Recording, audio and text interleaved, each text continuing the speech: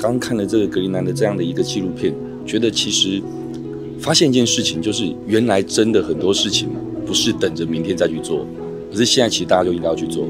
那不管是从企业、从个人，我们大家一起去努力去做这件事情，都很重要。那就像刚刚说的，有很多的数字是让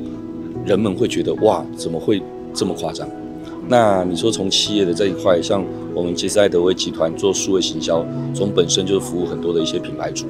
那在品牌主的一些服务的这个 total solution 上面，我就会去想说，是不是应该邀请大家一起针对可能不管是绿色这一块的一些 ESG 的一些议题等等，能够有更多的参与，然后让我们大家能够一起在这一个